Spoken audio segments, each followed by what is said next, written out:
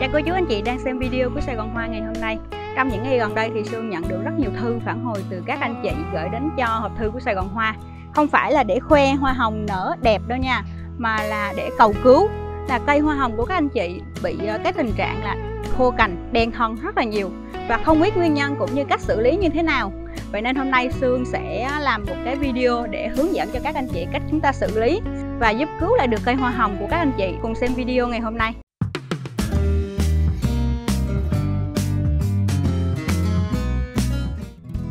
Thì đây là một cái cây hoa hồng mà bị à, khô cành cũng như là đen thân vườn đang có và Sương sẽ minh họa cụ thể trên cái cây này cách xử lý để cho các anh chị chúng ta tham khảo nha. Đây. Thì chúng sẽ bị khô những cái cành như thế này nè. Ban đầu thì chúng sẽ khô ở phần đầu này và bắt đầu lan dần xuống. Và trong một thời gian dài thì những cái cành khô này chúng sẽ bắt đầu khô sâu xuống phía dưới thân cũng như là các cành chính của cây hoa hồng. Và cây hoa hồng của các anh chị thì khi mà chúng nặng quá rồi thì chúng sẽ chết anh chị thấy có những cành mà chúng khô vào tận sát gốc luôn. Nguyên nhân đầu tiên mà làm cho cây hoa hồng của các anh chị bị nhiễm nấm bệnh và chúng bị khô cành đen thân đó chính là trong cái lúc mà anh chị cắt tỉa như thế này, thì những cái vết thương hở ở cái phần mà các anh chị vừa mới cắt xong, nấm bệnh sẽ xâm nhập vào đó và sẽ gây lên bệnh khô cành đen thân thì đây, từ những cái vết cắt mà anh chị vừa cắt đây, chúng sẽ bắt đầu là khô đen xuống phía dưới. Do cái dụng cụ của các anh chị khi mà cắt không được khử trùng. Nên là khi mà cắt tỉa cành thì Sương vẫn thường lưu ý cho các anh chị đó là trước khi cắt tỉa, anh chị sẽ phải làm một thao tác, đó chính là khử trùng cái dụng cụ của mình. Và khi tiến hành cắt tỉa thì anh chị cũng sẽ lưu ý, đó chính là cái dụng cụ cắt tỉa của chúng ta phải sạch. Và tiếp theo đó là phải bén. Để khi mà các anh chị cắt thì những cái vết cắt của chúng ta như thế này nó sẽ, cái mặt của chúng nó sẽ không có bị dập cũng như là không có bị suốt cái thân, thì cũng sẽ làm giảm được việc nấm bệnh xâm nhập vào các cái vết thương đó. Điều này là không nên nha các anh chị. Trước khi chúng ta chuyển từ một cái cây này cắt xong rồi thì chúng ta sẽ phải khử trùng trước. Cái kéo này thì khi mà cái cây này bị bệnh, anh chị cắt xong mà không có khử trùng mà đem qua cắt cái cây này. Hiện tại thì cây này đang khỏe thì mầm bệnh nó sẽ lây qua các vết cắt đó và sẽ làm cho cái cây hoa hồng này cũng bị khô cành là đen thân theo. Nên là trước khi chuyển qua, anh chị sẽ thực hiện một thao tác là khử trùng lại cái dụng cụ của mình. Và kéo cắt cành sau khi mà khử trùng rồi, anh chị mới tiếp tục là sử dụng chúng và cắt tỉa qua một cái cây tiếp theo.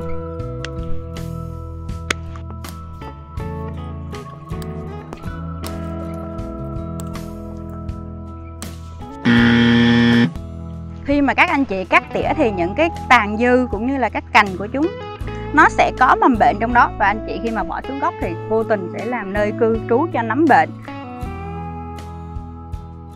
Và sau khi cắt tỉa thì những cái cành hư là khô như thế này, tàn dư, chúng chứa mầm bệnh thì các anh chị sẽ mang đi tiêu hủy ở một nơi xa cái khu vực mình trồng cây để tránh mầm bệnh có thể lây lan tiếp tục. Và khi cây của các anh chị bắt đầu bị khô cành như thế này thì anh chị nên kiểm tra và phát hiện sớm chúng ta sẽ tỉa những cái cành khô này đi.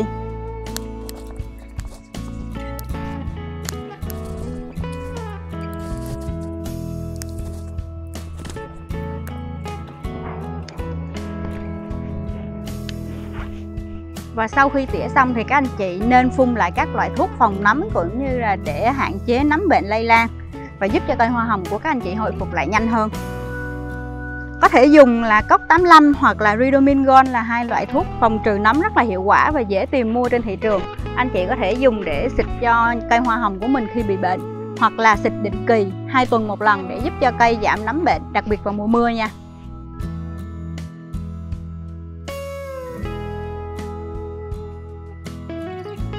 Và những chậu hoa hồng, các anh chị thấy là chúng bị khô thân, khô cành đen hơn rất là nhiều đây. Thì một cái nguyên nhân nữa là do giá thể nén chặt quá. Làm cho nó bị ờ, ngộp ở trong này thì khi mà rễ ở trong này bị ngộp, úng, những cái rễ đó bị thối, chết thì sẽ tạo cái điều kiện cũng như là cái môi trường cho nấm bệnh chúng phát sinh, chúng lây lên những cái cành ở sát gốc như thế này. Chúng ta sẽ khử trùng kéo trước nha.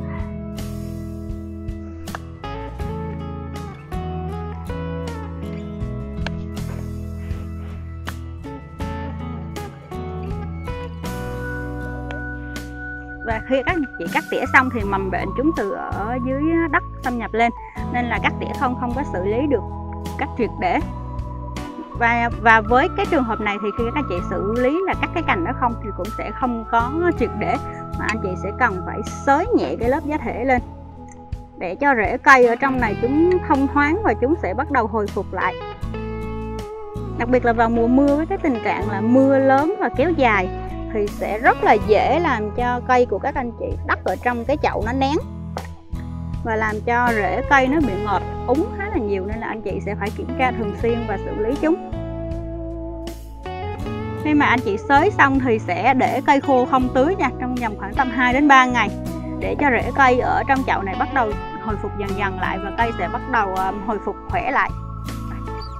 Hy vọng rằng anh chị xem được video này kịp thời và có thể cứu lại được chậu hoa hồng của mình khi mà đang bị khô cành đen thân và anh chị sẽ có được những cây hoa hồng ra lá xanh mướt và những bông hoa hồng thật tươi, thật thơm. Anh chị còn thắc mắc hay là gặp vấn đề nào mà cần Sương hướng dẫn thì có thể để lại bình luận. Sương sẽ tiếp tục ra video để chia sẻ cho các anh chị những kinh nghiệm cũng như là những mẹo hay để chăm cây nha. Chào và hẹn gặp lại anh chị ở những video lần sau.